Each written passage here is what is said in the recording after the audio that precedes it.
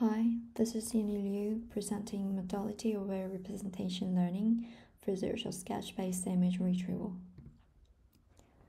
Sketch-based image retrieval involves retrieving relevant images given a sketch. Commonly, it splits into two categories. One is categorical, where any image from the same category is regarded correct, while the other, fine-grained, requires an exact match with the sketched instance. We're going to tackle this in a zero-shot manner, meaning no overlapped categories between training and testing phases. In related works, semantic knowledge transfer commonly involves using label embeddings or hierarchical graphs to ensure stable zero-shot retrieval. Additionally, many existing works employ triplet learning, where triplets consist of a query sketch, paired with a natural image from the same class as a positive pair, and an image from a different class as a negative pair. In our approach, we employ an indirect training strategy, where we contrast images, whether it be sketches or natural photos, with their corresponding sentences. Also, we adapt the clip model to encourage rich visual linguistic relationship. To do so effectively, we focus on bridging the modality gap within the clip latent space. This involves training our model to learn both modality agnostic and modality specific features simultaneously. By enabling the transformation of the source modality space into the target space, we aim to enhance retrieval performance. Here is the overall architecture. First, we input an image, either a sketch or a photo, along with a paired sentence representing the image's class. As this pair passes through the clip backbone, we obtain latent vectors for both the image and the text. Within this process, we utilize the original clip loss function for metric learning.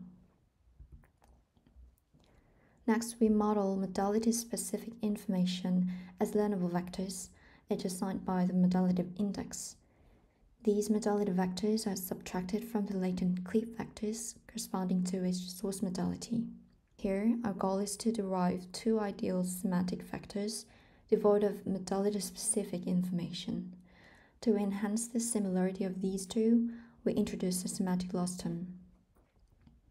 Additionally, as a further regularization step, we apply an orthogonal loss to ensure the orthogonality of modality agnostic semantics and modality specific information. Finally, target modality vectors are combined with the previous vectors to reconstruct the original clip vectors from the opposite modality. Additionally, a modality classifier is introduced to promote the stable transformation into the target space by enhancing the distinctions between different modalities. In our experiments, we evaluate our approach using representative datasets like extended versions of Sketchy, TU-Berlin, and QuickDraw. Also, we employ commonly used MAP and precision metrics specific to each dataset for evaluation. We presented quantitative results with previous works in various zero-shot settings. Our approach demonstrates superiority of, over other methods in both categorical zero-shot and categorical generalized zero-shot settings.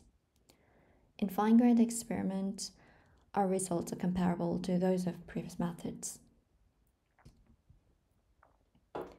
Here are query samples and retrieved results from QuickDraw extended dataset.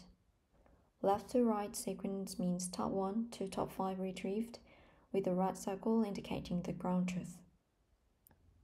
It demonstrates our model's ability to retrieve more relevant images, even in cases where it fails, such as the last example.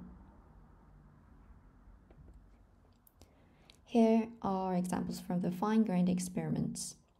Particularly in the third and fourth rows, although our model didn't retrieve the ground truth image, the top retrieved images are highly relevant to the queried sketch.